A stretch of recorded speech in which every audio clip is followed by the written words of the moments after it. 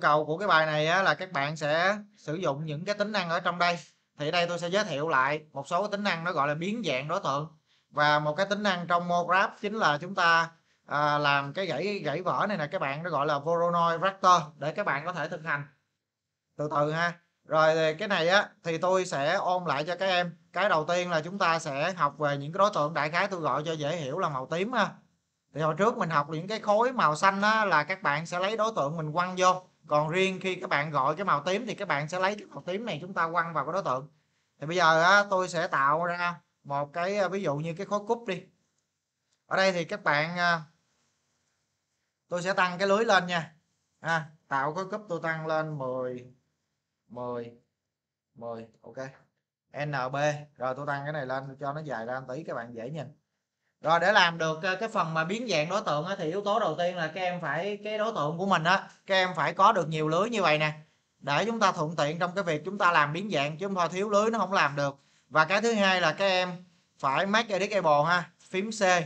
Rồi, cái hiệu ứng đầu tiên là trước tôi đã, cũng đã hướng dẫn rồi, thì đây ôn lại đó là ben là chúng ta sẽ bẻ cong đối tượng. Thì chính những yếu tố này nó sẽ giúp cho các em mình làm animation được nè. Ví dụ như đầu tiên mình gọi cái ben ra sau đó các em sẽ lấy cái đối tượng ben nè, nó nhớ nha, màu tím là mình sẽ quăng vô đối tượng chính của mình nha. Cụ thể ở đây là khối cúc thì các bạn nắm, các bạn quăng vô. Rồi, khi các bạn quăng vô á, thì các bạn muốn diễn hoạt là chúng ta sẽ diễn hoạt những cái, ví dụ như là cái strand hoặc là cái angle. Thì ở trong đây á, nó có những cái thuộc tính nó giống nhau nên tôi giới thiệu một lần thôi, còn những cái phần kia tôi sẽ demo, các bạn hiểu thôi, về lý thuyết.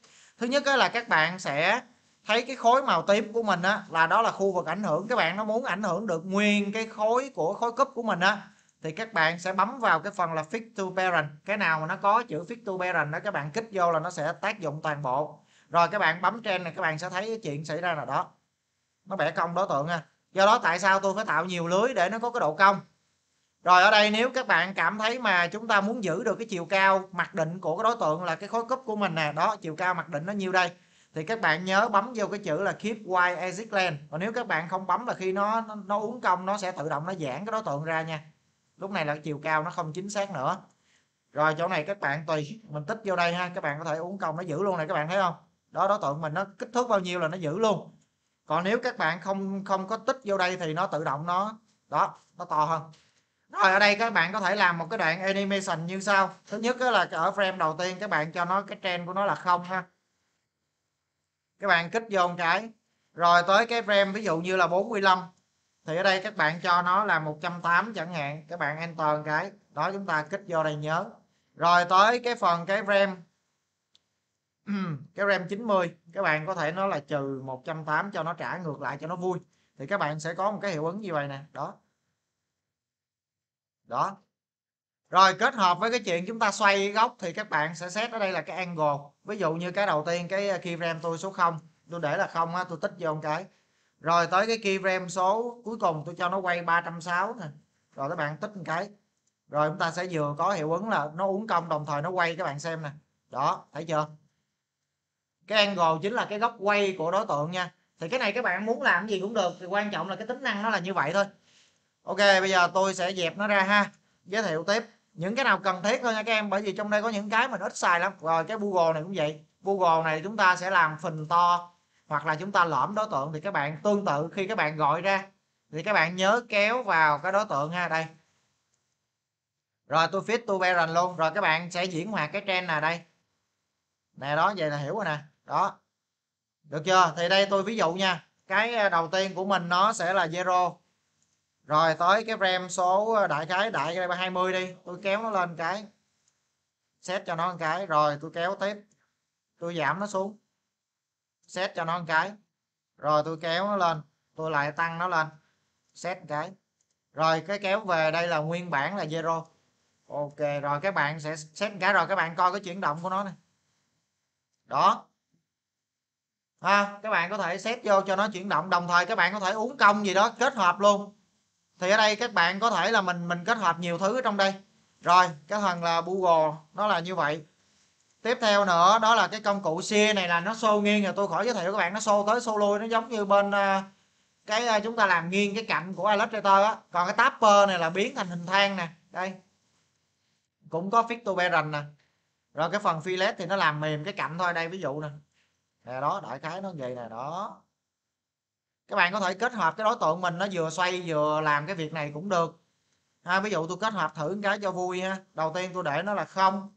Các bạn bấm một cái. Rồi tới uh, tới cái frame ví dụ như cái này đại đi tăng nó lên. À, giảm nó vô một cái các bạn set nó một cái. Rồi các bạn kéo lên đây cái đây các bạn có thể làm cho nó chỉnh nó thoải mái cũng được. Set đây một cái. Rồi ở đây mình giảm nó lại. Set đây một cái rồi cái cái RAM cuối cùng tôi cho nó về không phần trăm ha là mặc định nha các em. Đây. Rồi đồng thời tôi sẽ cho đối tượng này nó xoay luôn nè. Coordinate ha chọn cái cúp. Rồi các bạn có thể kiểm tra cái độ xoay nó nè. Đây ví dụ như xoay kiểu này đúng không? Là cái cái góc này thôi ha. Thì đây tôi để nó là không. À, coi góc này coi. Rồi xoay góc này đi cho dễ thấy nha. Ví dụ như mình xét cái đầu tiên. Không. Rồi kéo đại ờ, ủa sorry các bạn. Mình Z lại. Kéo nó về. Kéo kia ram trước ha này, tôi để nó là không này. Rồi, thì các bạn có thể kéo nó tới cái frame 45 thôi, cho nó xoay vòng tròn luôn đi, cho nó nhanh. 360 chẳng hạn, rồi set nó cái. Ok. Rồi, chúng ta vừa làm lại cái chuyển động của mình này. đó. Đó nó do đó, mình làm được cái hiệu ứng như vậy. Nghĩa là kết hợp nhiều thứ. Thì các bạn muốn biết thì các bạn phải có một cái kịch bản, các bạn tự tưởng tượng ra. Thì cái công cụ của C4D nó cung cấp cho chúng ta những cái này. Còn cái việc làm cái gì đó là việc của của các bạn. Giống như tôi á, tôi ngồi tôi nghĩ cái này, cái kia tôi làm để thứ nhất là ví dụ như trong công tác giảng dạy là tôi có thể tôi ôn tập lại bởi vì nó có khá là nhiều cái tính năng mà mình không có dùng, nhiều khi mình quên. Cái thứ hai nữa là các em cũng nên làm như vậy để mình hiểu được cái đối tượng của nó là mình có thể kết hợp nó như thế nào. Thì đó là cái công việc mà các bạn cần phải làm thôi. Rồi, bây giờ tôi sẽ dẹp cái này đi ha. Tiếp theo. Đó là squid, là vặn các bạn. Đây, kéo nó vô. Rồi, fit to parent luôn thử nha. Các bạn bấm vô cái switch chọn object ha. Fit to parent rồi, chọn là cái angle ha nè nó xoáy nè. Được chưa? Thì cái này là khỏi diễn hoạt ha nó xoáy. Nè các bạn có thể làm cho nó dày nè. Đó diễn hoạt cho nó nhanh lên cũng được thì mình kéo cái keyframe liên tục thôi các bạn. Hoặc là các em làm xong các em qua bên After Effects các em giãn cái ờ, các em chỉnh sửa cái cái cái đường khơ của nó cũng được. Để cho nó tốc độ nó nhanh chậm vậy đó. Nói chung cái nào mình thuận tiện thì mình chỉnh thôi. Switch là vặn nha. Các bạn những cái tính năng này á, các bạn có thể dùng để dựng hình cũng được. Chứ không nhất thiết là dùng để animation. Ví dụ các bạn vẽ một cái khối như vậy rồi các bạn vặn như vậy xong đó các bạn ờ, nếu mà chúng ta không có cái chế độ deform thì chúng ta rất là khó dựng cái khối này nè. Các bạn có thể dựng cái kiểu như là đại khái chai nước hoa nó có cái form dáng nó như thế này lạ lạ xíu ví dụ vậy. Thì trong đây á, không hẳn cho việc animation mà các bạn hoàn toàn là chúng ta dùng để model được nha. Đó để tôi chia sẻ thêm. Rồi bây giờ tới cái phần uh, mấy cái camera với correction này thì khỏi nó chỉ có thêm thôi. Rồi FFD nè. FD này ví dụ như các bạn dùng để mô phỏng uh, chúng ta sẽ kéo cái đối tượng bằng cách là chúng ta can thiệp những cái đường lưới ở ngoài. Đây, tôi quăng vô. Thì trong đây là các bạn sẽ chọn dùm tôi. FFD này nó sẽ cho chúng ta cái lưới nha. Fit to parent cái. Rồi, ví dụ tôi để nó là 4 4 4 các bạn sẽ hiểu nè. Các bạn chọn mà điểm. Rồi, các bạn muốn chỉnh cái gì đó thì các bạn thay vì chúng ta sẽ chỉnh ở trong cái đối tượng thì chúng ta dùng FFD nó tạo một cái khung ở ngoài. Ví dụ như các bạn chỉnh như vậy. Đây, tôi chọn bốn cái điểm ha. Sau đó các bạn kéo ra, các bạn thấy đối tượng mình bị ảnh hưởng không? Đó là nó chọn cái đường bao ở ngoài thì cái này á, các bạn dùng cái này các bạn dựng cái gối cũng rất là nhanh. Ví dụ là tôi dựng cái gối các bạn coi nha dựng nhanh luôn ha.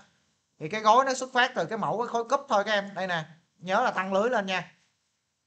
Trong cái phần biến à, làm cho biến dạng đối tượng cái lưới rất là quan trọng. Rồi ở đây tôi làm cho scale nhỏ lại một tí.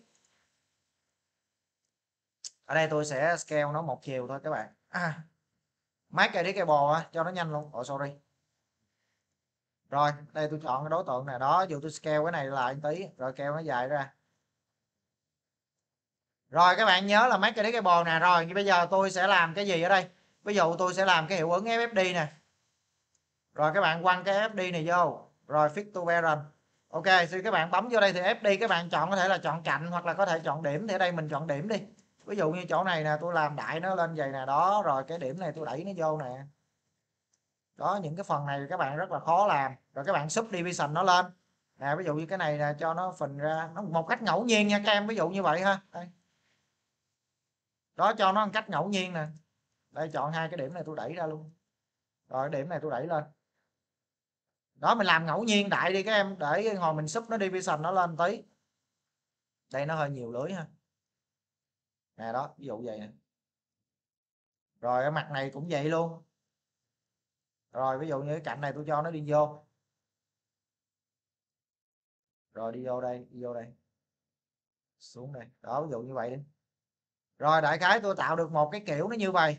Rồi, các bạn mới sub cái thằng này lên. Nhớ ha, cái màu xanh lá cây là mình sẽ lấy đối tượng của mình quăng vô nha. Còn cái màu tím là mình lấy cái màu tím mình quăng vô đối tượng nó ngược lại ha. Nè, đó, mình sẽ tạo được cái này. Còn do này nó nhiều lưới quá, nên các bạn sẽ làm cho nó mềm lại một tí nữa ở đây tôi sẽ ờ, tắt cái thằng này đi cho các bạn dễ nhìn. Đó. NA e. nè nó đại khái chúng ta làm vậy nè.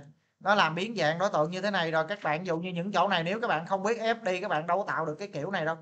À, thì tùy vào cái việc các bạn làm.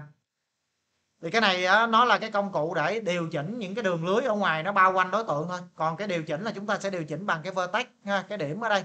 Và các bạn tự tạo thêm cái lưới này này đó rồi tôi dẹp cái này nha kéo này ra. NB rồi tới theo nữa là cái phần à, mesh mesh này cũng nó nó là cái làm cho nó mềm cái cạnh thôi các em. Đây này nó tạo cái khách này là bình thường. Này là auto. Thật ra cái mesh này thì à, thôi khỏi đi bởi vì nó chúng ta xài cái subdivision nó tiện hơn. Nó ít xài để đỡ mất thời gian ha rồi bây giờ tới cái phần nổ nè. Đây phần nổ này cũng khá thú vị các bạn. Thì các bạn sẽ bấm cái phần trên này các bạn để ý kỹ là đó mất tiêu luôn nó giống như là cái pháo hoa vậy đó. Nó pháo giấy á. Nè, các bạn để ý kỹ nha. Nè, nhìn nè. Đó đó. Đó, nó mất tiêu luôn. Nó biến thành giống như những cái tờ giấy nè. Thì cái này nó tự động nó tách ra bằng những cái mặt khác các em? Ở đây mình có nhiều cái ờ, cái đường lưới nè. Đó, những cái miếng này nó tách ra. Nhưng mà nó mỏng lét rồi nha. Ví dụ tôi làm nè. Rồi, trong đây nó có cái phần tốc độ ha. Đây là cái phần end size. Có nghĩa là khi kết thúc các bạn để zero là nó biến mất. Còn các bạn muốn cho nó to hơn. Ví dụ tôi làm cái hiệu ứng như vậy. Các bạn để ý kỹ cái phần end size nè nè đó nó to hơn thấy không? Đó. Còn đây số 0 nè. Các bạn thấy nó mất tiêu nè. Thấy giờ mất tiêu luôn. Đó khác biệt nó như vậy. Thì ví dụ như các em có thể làm cái hiệu ứng như vậy. À, đầu tiên tôi set cái này là không nè. Sau đó tôi set tới cái vị trí ví dụ như 90 à, tới 45 đi. 45 tôi tăng nó lên 100 ok. Rồi cái thằng set này tôi sẽ để nó là 5 xét đèn cái. Rồi thằng này tôi sẽ để nó là không xét đen cái. Rồi, kéo nó lên vậy nè. Đó, tới 45 thì tới giây 46 là tôi vẫn giữ cái này nha. Nhưng mà bắt đầu tới kéo càng về sau là cho này về không, thằng này về không set rồi, các bạn xem lại cái chuyển động như thế này. Đó, nó ngưng động là đó. Thấy chưa? Mình tạo được một cái chuyển động như thế này. Quan trọng là các em phải hiểu được cái giá trị của nó đó. Đó, mình có thể mình set lại như thế này nè. Lúc này mình cho nó dạng slow motion hay gì đó đó mình qua bên cái keyframe của thằng thằng à, thằng Premiere hoặc là Adobe ấy. À, bên uh, After Effects các bạn cho nó đứng lại một tí. Đó ví dụ làm như thế này nè. Mình được cái hiệu ứng như vậy. Rồi nâng cấp hơn của thằng uh, Explore. Thì các bạn thấy Explosion đó là nó dạng là nó từng mảnh đó. còn nâng cấp hơn của nó đó là cái phần chúng ta sẽ nó biến thành cái đối tượng. Đó là cái kế bên nó nè. Explosion FX thì các bạn quăng vô các bạn sẽ thấy nó biến thành cái đối tượng nha. Các bạn thấy nó có cái độ có có, có cái cái khối của mình đó nó có nổi lên. Thì cái phần này chính là cái phần cluster. Thì các bạn có thể tăng cái độ dày của cluster lên nè. Đó tăng cái độ dày lên. Đây nè nó là cái phần thickness đó đây nè. Đó các bạn thấy được chưa? Đó thickness.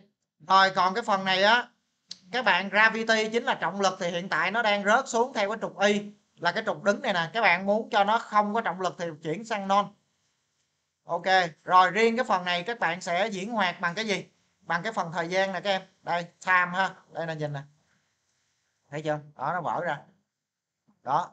Thì cái thằng này nó sẽ khác. Cái thằng nó cũng dạng là vỡ ra đó. Nó nổ ra nhưng mà nó là fx nó biến đối tượng thành đối tượng 3d đó cluster ha. Variation là sự khác biệt, nó chỉnh random. Ở đây tôi để là 20 thôi. Rồi variation là chúng ta cho nó giá trị random nha các em. Ok, đó, các bạn thấy à, mỗi khối nó tự động nó khác nhau hết nha. Còn nếu các bạn để variation bằng không là nó gần giống nhau nè. Đó, những cái khối nó gần gần giống nhau. Ở đây các bạn nên để random luôn. Rồi, cái thằng phầy density này là cái gì? Chính là cái cái độ thưa mỏng, cái độ xuất hiện, cái mật độ á. Đây nè, cái mật độ nè. Giảm nó lại, ha ở đây tôi cho nó khác biệt luôn. Những cái này chúng ta nên khác biệt nhau một tí. Rồi chúng ta chọn cái này chúng ta diễn hoạt ví dụ như không. Rồi các bạn set cho nó keyframe đi. Rồi tôi để lại 45 giống như kia mình cứ set thử mình xem. Ví dụ đây để 50 enter. À, 75 enter. Rồi tôi set đây một cái. Rồi qua cái key ram 46 tôi vẫn giữ như vậy. Ok. Rồi các bạn có thể set xuống cái này mình còn lại nó là không. Set một cái rồi các bạn có thể diễn hoạt như vậy nè. Rồi nó đáp y chang như cái kia thôi. Còn các bạn muốn theo cái chiều nào thì các bạn vào cái phần gravity. Ví dụ như tôi muốn theo cái trục này, trục màu đỏ là trục x nè, tôi muốn nó đẩy theo cái trục này nha, thì các bạn có thể chọn là x cộng. Đây là trục x nè. Cái direction gravity thì các bạn chọn x x cộng và x trừ ở đây nè. Đó, thấy chưa? Nó di chuyển theo cái trục nè. Vậy thôi. Rồi rồi tiếp theo cái hiệu ứng đó là cái hiệu ứng meo. Meo là hiệu ứng tan chảy nha các bạn. Thì ở đây tôi tạo cái khối cúp đi cho nó ấy tạo một cái khối ờ, khối sphere cho dễ thấy ha. Đây, tăng lưới lên nha. Hiện tại nó đang là 16 tôi tăng lên 48 ok mát edit cable. Rồi, bây giờ tôi kéo nó lên tí. Rồi tôi để đó luôn. Rồi các bạn, tạo hiệu ứng tan chảy là meo nè. Các bạn quăng nó vô. Rồi các bạn quăng vô thì các bạn chú ý là cái hiệu ứng tan chảy này các bạn sẽ di chuyển nó xuống giùm tôi nha đây tôi chọn cái meo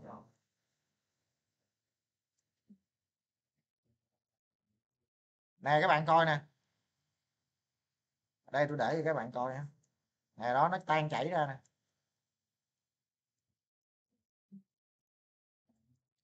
Rồi cái mail này tôi sẽ làm cái hiệu ứng nó cái khối này nó hơi khó một tí. Để tôi làm lại cái khối khác đi các bạn. Đây tôi làm lại cái, cái khối này một tí cho nó dễ. Rồi, tôi quăng cái mail này vô. Đây. Cái mail này chính là làm cho nó tan chảy các bạn có thể giảm cái này bằng không nè. Ở đây tôi sẽ để lại cái chế độ ở đây. Của nó đông tiêu rồi không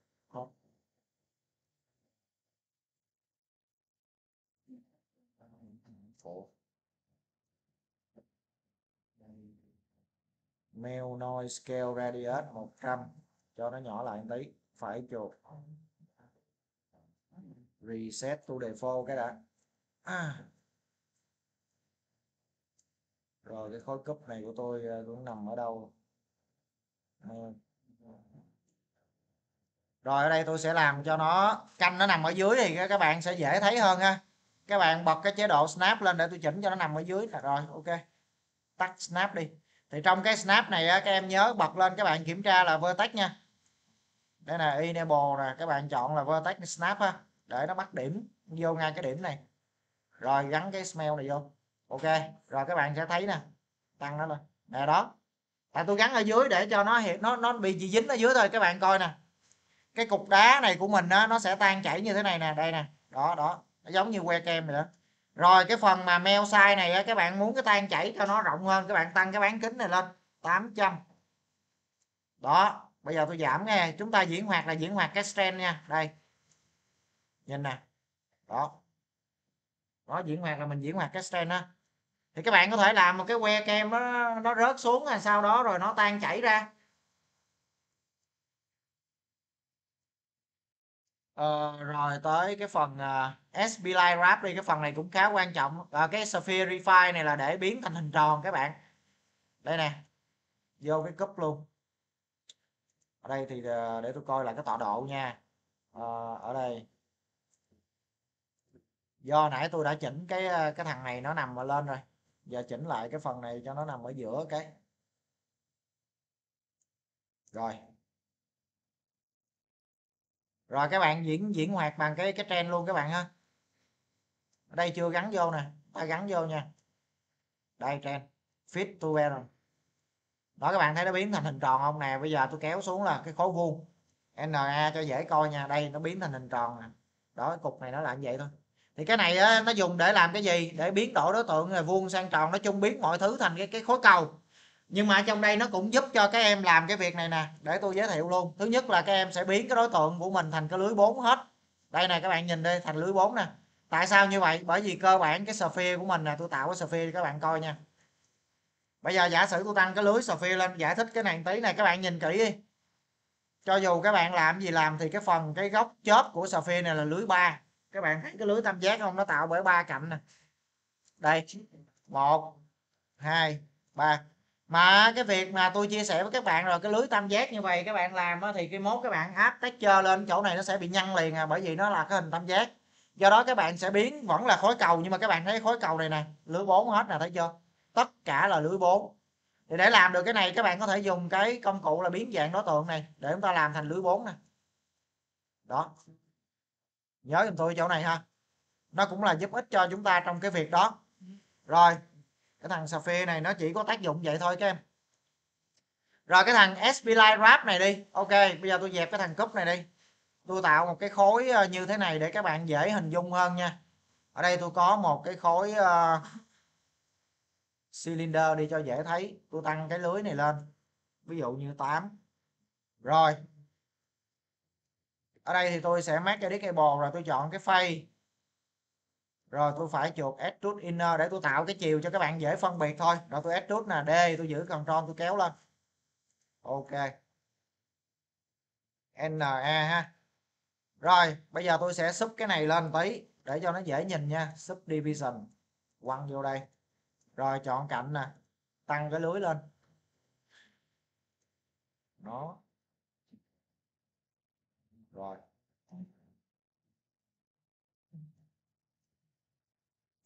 Rồi, đại khái về cho các em dễ hình dung nha.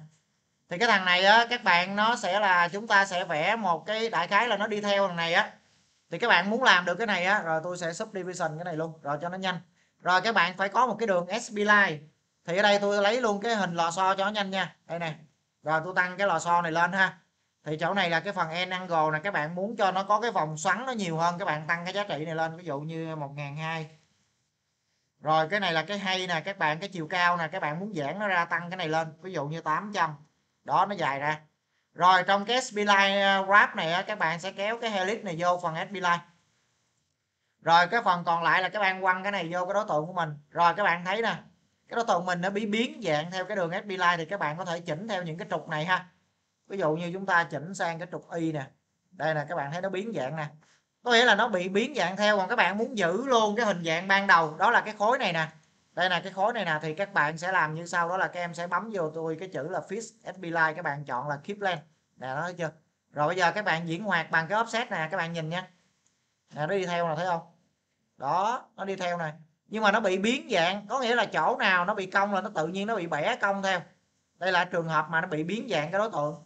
Thì các bạn muốn, ví dụ như cái hình này, các bạn muốn nó đi theo luôn, có nghĩa là các bạn có một cái hình đại khái là giả sử một cái son môi hay cái gì đây hay là cái hũ gì nè các bạn muốn nó di chuyển vậy nè. Thì chúng ta phải dùng cái cách khác. Thì cái này nó sẽ bị biến dạng nha. Chú ý giùm tôi cái này. Đây nè. Cái này là do tôi chưa bật lên. Rồi. Đó các bạn thấy nó biến dạng nè nó không còn giữ lại cái tình huống ban đầu ha. Thì cái tình huống này á, các bạn muốn đi theo á, thì các bạn sẽ làm như sao mình không dùng cái SB Wrap mà mình sẽ chuyển sang cái chế độ tôi tắt cái này đi. Rồi chỗ này các bạn sẽ chọn dẹp này luôn nha rồi, các bạn nhớ nè, bây giờ tôi muốn làm giống vậy luôn, nhưng mà nó giữ theo thì các bạn chọn dùm tôi cái đối tượng các bạn muốn ha có nghĩa là bắt một cái đối tượng nó di chuyển theo một cái đường SP line. Thì các bạn phải chuột, các bạn gắn dùm tôi cái thẻ này nè. Animation task, các em chọn dùm tôi cái chữ đó là align to SP line nha, bấm vô. Rồi, các bạn bấm vô đây, các bạn quăng cái cái helix này vô nè, bấm vô cái phần mà giống như vệ tinh này các bạn. Rồi các bạn nắm cái helix này các bạn quăng vô SP line. Rồi, nó xếp vô rồi đó nhưng mà các bạn diễn hoạt bằng cái position này các bạn thấy nè, đó, nhưng mà nó bị đơ rồi không? Bây giờ tôi muốn là nó, cái đầu tôi nó phải vô đây nè. Thì các bạn chọn vào cái phần là target ha target là bắt dính á. Là đó, bây giờ mình sẽ bấm vô đây thì nó hướng các bạn chỉnh cái trục này lại. Ví dụ như trường hợp này là trục y chẳng hạn. Rồi các bạn kéo. Nè, nhìn nè. Nhưng mà chỗ này bị ngược nè, thấy không? Nó đang chạy như thế này rất là đúng ý đồ nè. Nhìn nè. Ok, nhưng mà tới đây tự nhiên nó bị ngược. Đó cái vấn đề này là vấn đề các bạn rất hay gặp luôn, những trường hợp các bạn có thể cho chuyển động. Tôi nói ví dụ nha các em làm một trái banh nó chuyển động theo, các em dựng theo cái máng á, xong các bạn cho nó đường SP line theo đó, các bạn muốn trượt theo cái máng là phải dùng cái này nè. Còn không, các bạn sẽ dùng cái tính chất vật lý thì lát tôi chỉ luôn. Thì trong đây nó có nhiều kiểu lắm, thì các bạn à, dùng cái gì thì dùng, nhưng mà tôi giải thích chỗ này để các bạn hiểu. Rồi, để tránh được cái việc này thì có một cái tiếp, một cái mẹo nhỏ thôi. Đó là các em sẽ copy cái helix này ra nha. Chắc bắt buộc các em phải làm cái việc đó rồi các em giữ ờ, helix nè, các em giữ control các bạn kéo nó ra. Rồi sau đó các bạn được cái helix một này các bạn sẽ di chuyển nó ra một tí. So với cái đường ban đầu chỉ cần di chuyển ra một chút thôi. Rồi các bạn bấm vào cái phần align to SB line các bạn chọn cái cái helix một này chúng ta copy các bạn quăng vô cái phần rail path nha. Đó.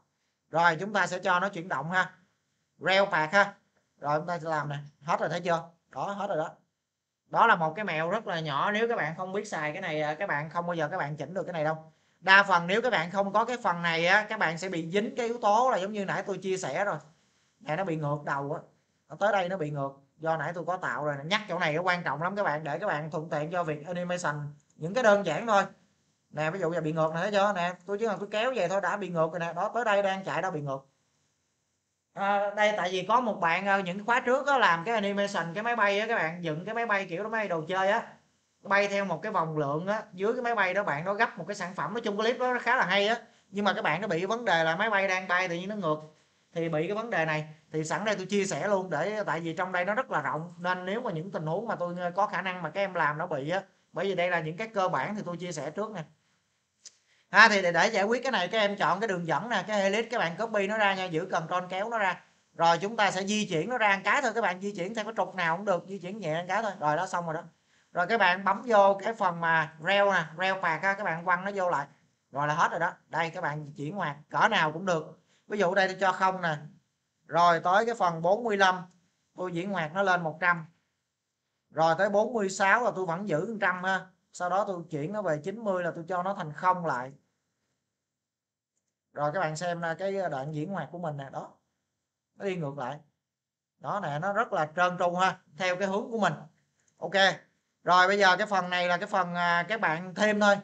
Tới một cái hiệu ứng à, để tôi coi còn hiệu ứng gì nữa thôi rồi, những cái phần này cơ bản nó là như vậy thôi, các em có thể kết hợp nãy giờ ha. Các bạn có thể xem lại để mình kết hợp. Rồi, bây giờ tới cái phần mà nó rơi vỡ đó là dùng cái hiệu ứng morap này nè các bạn. Voronoi Vector. Thì bây giờ tôi sẽ làm một cái hiệu ứng như sau. Ở đây tôi chọn cái này, tôi mở lại một cái trang mới nha. Ví dụ như các bạn làm một cái khối như thế này. Đây tôi có một khối cúp luôn. Nhớ dùm tôi là các bạn tăng lưới lên nha. Thì để địa hiển thị được là NB lên các bạn rồi. Các bạn nhớ là mark cable ha. Thì chỗ này tôi sẽ kéo đối tượng tôi lên tí. Rồi bây giờ tôi tạo cái sàn nha. Thì chỗ này tôi áp cái ờ, cái màu cho các bạn dễ thấy ha. Rồi, color nè. Rồi chọn cái ờ, relax tăng luôn cho dễ thấy. 50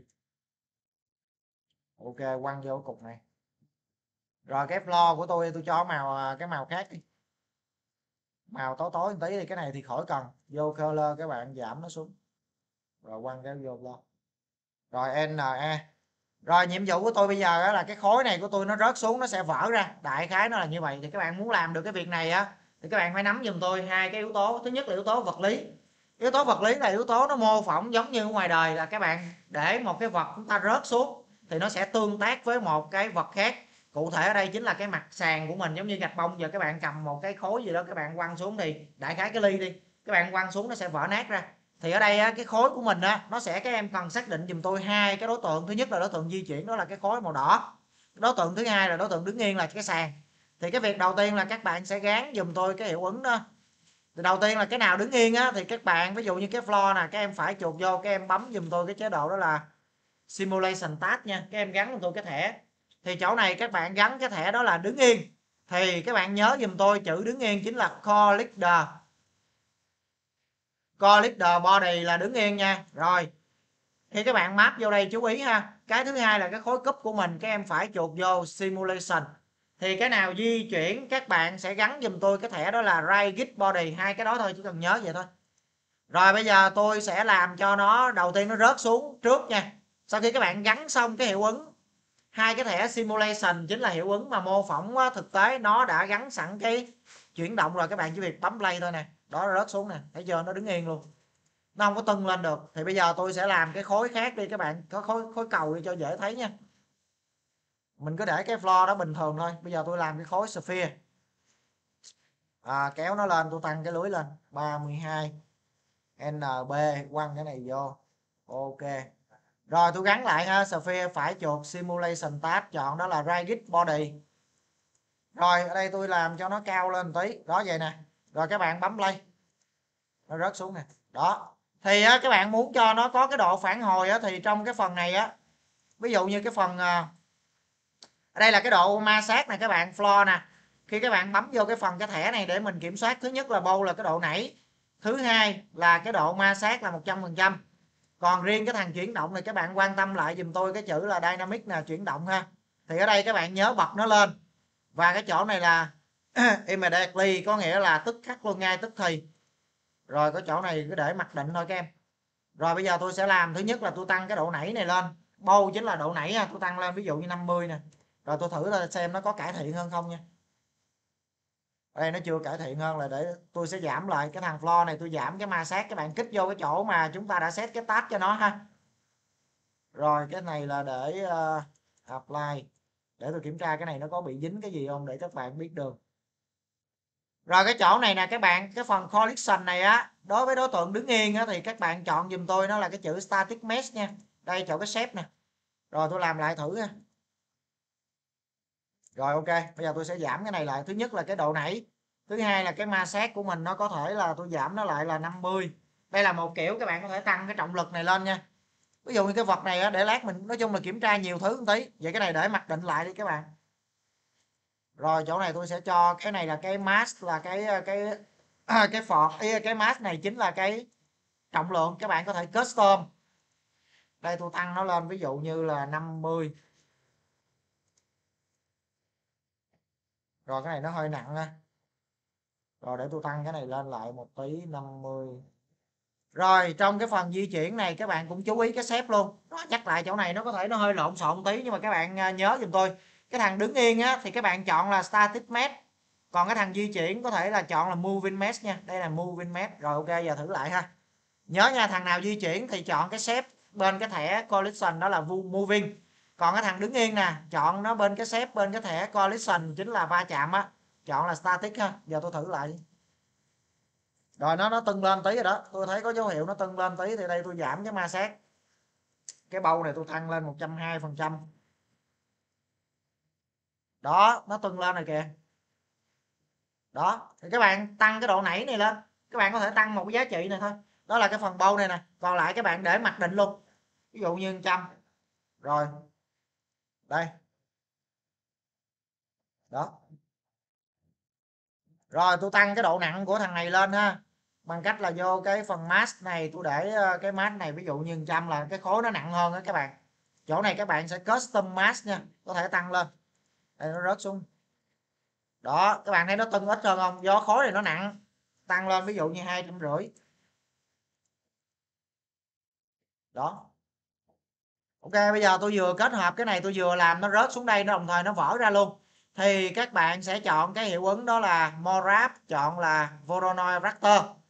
Rồi như giống như tôi chia sẻ hôm nay đó cái nào mà màu xanh lá cây thì các bạn lấy cái đối tượng mình quăng vô nha. Ví dụ như cụ thể đây là Sphere, quăng vô.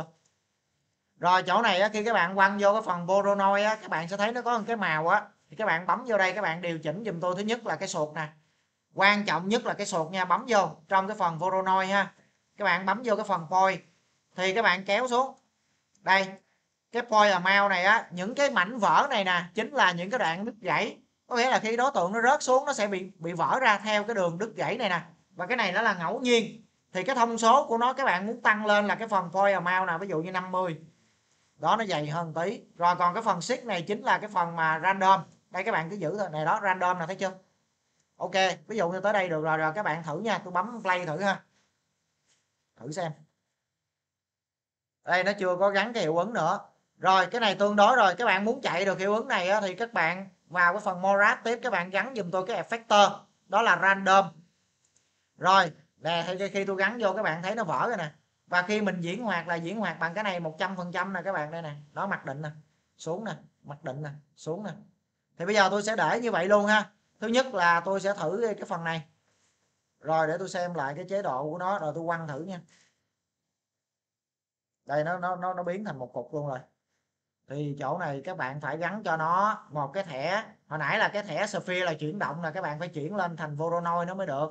Đây nè. Đó, tự động rã luôn. Các bạn gắn cái thẻ chuyển động này, rồi cái thằng random này tạm thời tôi tắt đi nữa đây. Ok, rồi đó. Thấy chưa? Đó. Có nghĩa là nó vừa rã ra đồng thời là nó rớt xuống luôn. Đó nhớ giùm tôi cái này. Do cái thời lượng của mình nó ngắn quá 90 frame nên nó bị cái tình huống này nè. Chứ thật ra nếu các bạn kéo dài frame ra thì lúc nó rớt xuống á. Rồi chỗ này nếu các bạn muốn giữ cái phần đó thì các bạn chỉnh lại cái phần va chạm tí cái phần Voronoi nè. Collision thì cái bài va chạm này á, thì có thể tôi sẽ lặp lại ở phần sau. Các bạn tìm hiểu nhưng mà cái bài này để các bạn nghiên cứu thêm thôi.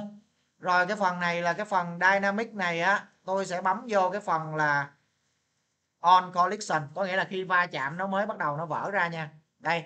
Còn các bạn để cái phần mà immediately có nghĩa là ngay tức khắc. Còn cái này là chúng ta tùy chỉnh thôi. Giờ còn cái hai cái này thôi. On collection thì tôi sẽ bấm thử nha. Đây. Ở đây nó chưa có va chạm nè. Để tôi coi lại cái phần này đã. À, cái thẻ này là ta tiếp mét đúng rồi. Ok on collection enable on collection. Moving met on collection. Rồi ở đây nó à, nó đang bị cái vấn đề để tôi bật qua.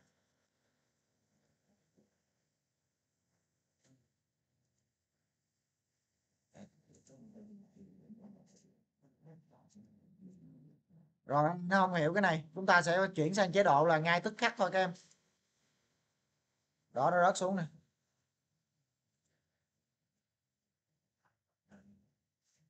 Thì các bạn có thể dùng cái hiệu ứng này các bạn làm nó kết hợp với lại một số cái hiệu ứng deform bên cái vùng màu tím á, các bạn có thể làm cái cái phần chuyển động cũng được. À, đại khái cái Voronoi này nó còn làm một cái hiệu ứng nữa nè để tôi ví dụ luôn cho các bạn coi nha. Ở đây tôi sẽ tạo một cái cái test đi. ở đây tôi tạo dẹp cái sphere này nha. Rồi cái test này à, tôi dẹp luôn cái phần à, chuyển động dynamic là chuyển động vật lý đi. Thì trong này các em tạo dùm tôi cái morat nè, các em giữ cái morat chúng ta chọn cái test đây. Thì cái thằng Voronoi này có thể làm được cái hiệu ứng như sau. Thứ nhất là các bạn chọn cái test như vậy, sau đó các em gắn cái Voronoi vô ha. Rồi cái chuyển cái test này vô đây.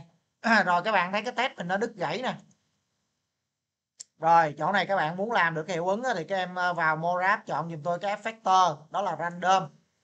Rồi chỗ này các bạn diễn hoạt như sau nè đây. Đó ví dụ như cái test của mình nè bấm vô cái phần không cái keyframe không là các bạn kéo lên ví dụ như 45 là các bạn cho nó lên 100 nè, các bạn thấy nó nó sẽ vỡ nát ra như vậy. Thêm cho nó một cái tới keyframe số 46 vẫn giữ ha. Nó đại khái cho nó lặp đi lặp lại thôi chỗ này tôi để lại số 0 rồi các bạn coi cái hiệu ứng nè. Đó, nó như vậy nè. Đó, mình sẽ làm một cái hiệu ứng như vậy. Thì nó cũng là cái dạng mà vỡ ra, nhưng mà ở đây các bạn diễn hoạt bằng cái effect đó là random. Thì các bạn phải có cái hiệu ứng morap xong, các bạn mới gọi ra cái effect ở đây nó mới ăn nha. Đây nè. Thì các bạn muốn kiểm tra của nó bằng cách, có nghĩa là những cái tính năng trong morap á, khi các bạn gọi nó ra xong, các bạn gắn cho nó một cái effector nó mới ăn được rồi trong đây các bạn bấm vào cái thẻ factor các bạn thấy nó xuất hiện nè. Còn nếu nó chưa xuất hiện thì các bạn sẽ lôi nó vô thôi. Đa phần nó sẽ xuất hiện. Ở đây mình diễn hoạt nó như thế này ha. Thì các bạn cứ để random 100 rồi các bạn bấm vô cái phần random đây là mình sẽ keyframe là keyframe cái này. Còn đây là cái chế độ là ngẫu nhiên là các bạn tăng cái này lên ha. Đây ví dụ. Đó. Rồi ở đây các bạn thấy là của mình nó bị là theo ngẫu nhiên. Bây giờ tôi muốn làm một cái hiệu ứng đó, thì trong đây các bạn Voronoi nè ở trong cái phần mà sụt ha đây hiệu ứng nó ngẫu nhiên nè các bạn. Thì bây giờ ngoài cái hiệu ứng ngẫu nhiên của phần mềm ra các bạn có thể vẽ theo một cái hình dạng tôi ví dụ luôn. À, tôi vẽ một cái đường sb line nha. Tôi chọn sang cái view 2D đây các bạn coi nè. Đây ví dụ như vậy ha. Rồi các bạn nắm cái phần Voronoi này trong cái phần sụt này các bạn quăng cái đường SP line vô nha. Giữ quăng xuống rồi các bạn tắt cái này đi nè các bạn thấy cái hiệu ứng gãy vỡ mình nó khác không? Bây giờ tôi chọn SP line tôi xoay nó đi nè. Đó rồi bây giờ tôi sẽ làm diễn hoạt bằng cái random cho các bạn coi là cái ánh sáng mình cái hiệu ứng mình nó khác nha. Nè. Đó. Thấy chưa? Nó cắt ra theo cái hình dạng của cái đường SP line rồi chỗ này thì các bạn có thể làm theo ờ, về cái phần ờ, Voronoi này để tôi coi còn cái gì nữa. nè cái đường SP line này tôi đang bật nè các bạn. Rồi nó tới cái phần à, rồi giới thiệu tiếp cái phần à, render đi cho nó dễ. Tôi, tôi quăng cái chữ này vô nha. Quăng cái đối tượng vô. Rồi bây giờ tôi sẽ hướng dẫn tiếp cái phần render. Nhưng mà ở đây à, tôi hướng dẫn luôn cho các em cái phần mà chúng ta sẽ lấy cái ánh sáng là bằng sky. Nhưng mà lúc các bạn render ra đó thì cái clip của các em nó sẽ không có cái nền để các bạn có thể hậu kỳ bằng bất kỳ cái nền nào các bạn muốn cho nó dễ. Thì làm được cái đó là các em sẽ xuất sang cái file png không nền ha. Rồi chúng ta sẽ vào cái phần giả sử tôi làm cái này luôn nha, cho nó nhanh hơn đây nè, ví dụ tôi làm cái hiệu ứng này đi, để tôi quay cái góc này cho nó dễ. Đây, tôi làm ví dụ hiệu ứng này nha. Đó, tôi sẽ làm cái hiệu ứng như thế này. Đó. Rồi thì đầu tiên các em vào cái phần render setting này á, các bạn cứ bật cái phần à, global rồi bật cái phần ambient. Chỗ này đi noi luôn nha. Đi noi chính là cái yếu tố mà để làm cho nó khử cái khử hạt thôi. Rồi cái phần sale này, các bạn nhớ sale dùm tôi, đó là file png đây này, cái thẻ sale này các bạn tích vô cái chữ alpha channel chỗ này quan trọng lắm nha. Các bạn không tích là các bạn không có có render ra được đâu. Nó sẽ lấy luôn cái nền đó. Chỗ này nhớ dùm tôi cái chỗ chữ là alpha channel ha rồi cái phần output này chúng ta chọn là chế độ là on frame. Rồi HD TV này nọ đầy đủ. Rồi cái phần này ok. Rồi chúng ta tắt đi rồi chúng ta thử render thử nha. Thì đầu tiên là tôi chọn cái sky này nọ. À, thì ở đây các bạn có thể dẹp luôn cái floor luôn đi các bạn. Đây mình không cần floor đâu. Rồi chỗ này tôi gắn cái sky vô thôi. Để tôi lấy cái ánh sáng cho nó đẹp ha. Rồi chỗ này tôi chọn cái uh, nếu mà đã sky rồi thì các bạn nhớ chỉ bật một cái luminance lên thôi. Rồi gắn cái HDRI vô. Đây ở đây tôi cho nó mờ luôn 50 trăm đi, gió đẹp. Ok, nó vậy thôi. Rồi tôi quăng cái này vô sky nè, rồi tôi render thử. Đó, cái hiệu ứng nó như vậy là ok nè. Nhưng mà lúc các bạn render ra xong đó, mình chỉ lấy được cái chữ test thôi. Còn cái nền nó là trong suốt để các bạn muốn bỏ cái màu nào vô cũng được. Thậm chí các em bỏ một cái background video bên After phát khác vô, thì nó dễ dàng hơn. Thì chỗ này kiểm tra lại trước khi render dùm tôi nè. Vô render setting, chọn cái phần output ha. Chỗ này để là on frame nha. để mình render hết luôn. À, sau đó các bạn nhớ chọn chế độ đó là phim phim aspect của mình là HDTV còn cái phần cell này các em nhớ là cell file PNG đồng thời là tích vô cái chữ alpha channel nha. Cái chỗ này chính là để xóa bỏ cái background đó các em. Rồi tắt đi. À, bật hai cái chế độ này lên. Đó là global illumination với lại ambient lên rồi bây giờ tôi sẽ kiểm tra từng bước trước khi tôi render cho nó kỹ đã ví dụ như góc này tôi render thử view thử coi. Ok được rồi rồi các bạn bấm ờ, render luôn. Ok. Rồi, tôi cho nó render hết cái này đã. Đây thì các bạn chịu khó chúng ta render ờ, chúng ta đợi nó khoảng ờ, 90 frame thì các bạn phải đợi nó render ra hết cái ảnh luôn á, rồi các bạn sẽ xem cái ảnh nó dạng dạng ảnh chuyển động á. Rồi các bạn qua photoshop, các bạn mở lên này, lát tôi tôi mở cho các bạn coi luôn thì đây mình chịu khó mình đợi ha. Thứ nhất là với cái phần render này á, các bạn sẽ làm nó nó là cái dạng mà mà chúng ta đừng có hạn chế sử dụng cái vật liệu mà nó trong suốt, nó thủy tinh á. Thì các bạn render nó sẽ nhanh thôi giống như tôi là vật liệu bình thường thôi nè. Nó vẫn có cái độ bóng bình thường thôi. Chủ yếu là các em học để các em nắm cái công cụ ha. Bởi vì cái máy đa phần ở đây nó đụng tới cái cái thủy tinh nó trong suốt, bởi vì nó có cái độ khúc xạ nó sẽ render khá là lâu. Do đó các bạn chú ý cái này thôi ở đây thì à, mỗi frame như vậy render có một giây à. Do đó cái frame của tôi là 90 frame này á, tương đương là 6 giây. Thì nó render đâu đó khoảng à, 90 giây của mình. Là hơn một phút phút rưỡi là xong rồi. Rồi tôi sẽ lại nó render hết rồi tôi sẽ sale lại luôn ha. Các em nhớ bật cái alpha channel nha, để tôi coi nó nó có ăn không đã.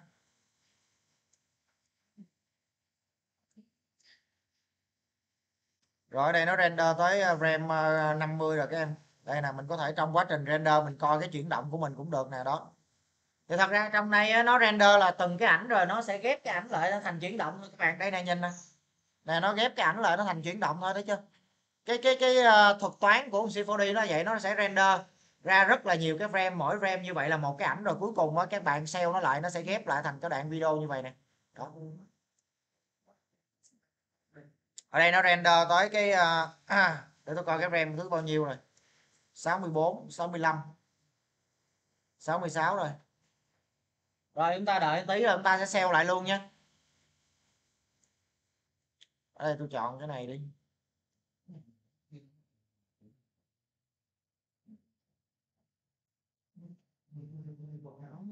75 76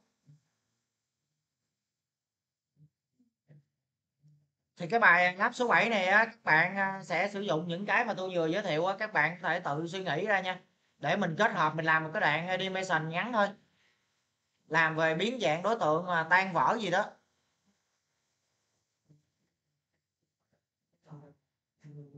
À, ví dụ như nó render hết rồi nè các em.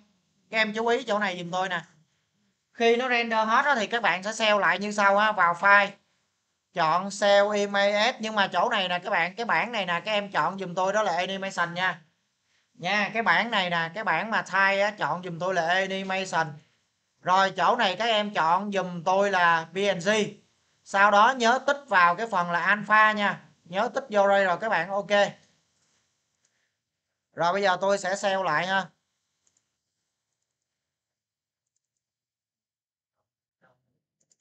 Uh, render.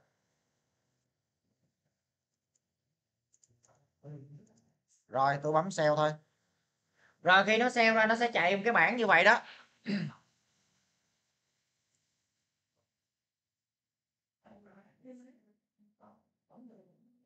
Tôi sẽ lấy cái file này à, tôi mở bên Photoshop cho các bạn xem ha. Rồi, tôi sale để cho nó sale xong đã. Ok. Rồi, tôi mở cái file đó bằng Photoshop luôn nha. Đây ở đây là tôi ờ, sẽ mở Photoshop trước.